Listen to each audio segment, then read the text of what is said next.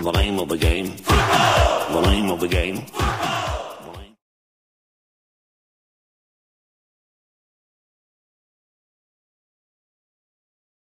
Die zweite Neuverpflichtung ist Azo Stojkov, der 24 Länderspiele für Mazedonien bestritt und bereits für den FC Aarau im Testspiel gegen Donetsk im Einsatz war. Francis Adissa Kioyo. Ein Mann wie eine Eiche, 1,91 groß und 88 Kilogramm schwer, Typ Sturmtank. Sein neuer Partner im Angriff der Aarauer könnte die ideale Ergänzung sein, eher klein und schmächtig, Typ Strafraumwusler, Ako Stojkov. In Aarau hofft nicht nur Jeff Saibene, dass die beiden Neuen der große Fang sind.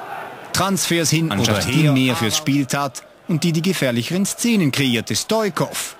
Stoikov wurde erst von Xamax Hüter Ferro gebremst. Die Neuen harmonierten im FCA-Angriff schon ganz gut. Kiojo auf Stoikov. Das gab's wenig später gleich noch einmal zu sehen. Die beiden waren mit Abstand die auffälligsten Akteure auf dem Platz. Kiojo mit der Hacke, Stoikov per Kopf. Noch blieben die zwei Neuzugänge ohne Torerfolg.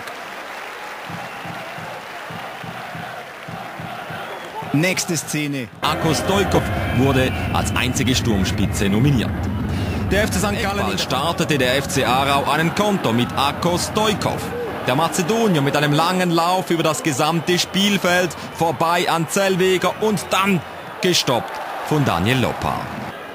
Ako Stojkov im Zentrum mit viel Platz und der Reaktion, die zeigt, dass der Treffer nicht zählte. Stojkov stand knapp im Abseits, Zentimeterpech für das Tabellenschlusslicht.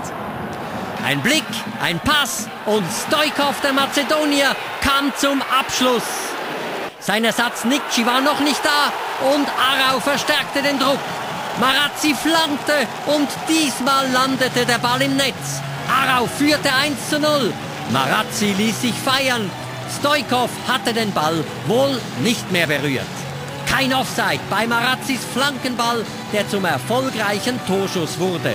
Offizieller Torschütze in der 23. Minute war zwar Stoikov, aber ob der den Ball noch berührt hat? Auch die nächste Offensivaktion gehörte den Einheimischen.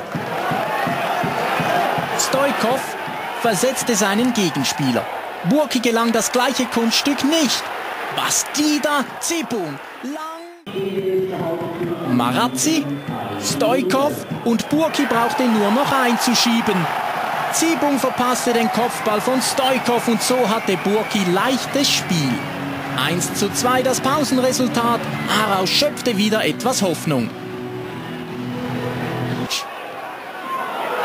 Lechtinen scheiterte an Zibung. Schön der Absatztrick von Stoikov, aber der eingewechselte Toni Lechtinen vergab kläglich. Drei Minuten später wieder Arau mit dem agilen Stoikov. Hier am Ball. Foul von Diara und Schiedsrichter Studer entschied auf Penalty. Ein Fehlentscheid, wie die Wiederholung zeigt. Das Foul von Diara außerhalb des Strafraums. Der gefaulte Akko Stoikov lief an und erzielte den Ausgleich. 2 zu 2 nach 77 Minuten. Ja. Jetzt war wieder der FC Aarau dran. Der eben eingewechselte Kiojo verlängerte zu Stoikov. 97. Minute 2 zu 1 für die Gäste. Sie standen knapp vor dem Ausscheiden. Kiojo und Stoikov waren für die Wende besorgt. Und die beiden wirbelten weiter. Kiojo bediente Stoikov 3 zu 1, das war die Entscheidung. Aarau steht in der nächsten Runde. Nach einer Viertelstunde dieser Ballverlust von Bellinzonas Fälscher. Bastida sofort mit langem Pass in Richtung Stoikov. Golizzotti verschätzte sich. Stoikov ließ ihn stehen. 1 zu 0 für Arau. Wurde ihm zum Verhängnis. Stoikov schoss das erste Tor für Aarau nach 298 Minuten. Spielten besser, zielstrebiger. Mustafi auf seinen Sturmpartner Stoikov, gutes Dribbling. Dann suchte er sofort den Abschluss in Können. Die Pausenführung für Arau war verdient. Rabisarda. Mustafi. Stoikov gegen Mangerati. Stoikov. Abgedrängt von Zotti, bis der Winkel zu spitz war. Bellinzona stand nicht sicher in der Abwehr.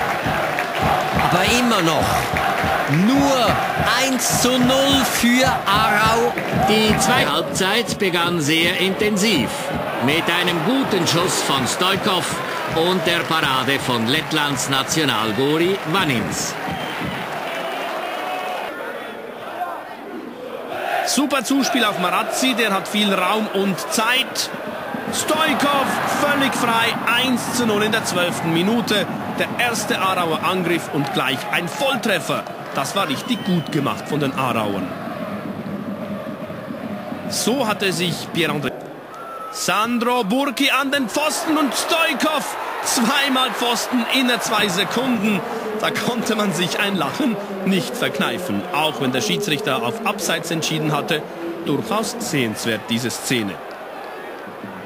Xamax agierte nach dem dritten. Schauen Sie sich diesen Fehlpass an. Stoikov und Luca Ferro bügelte den Fehler seiner Vorderleute aus.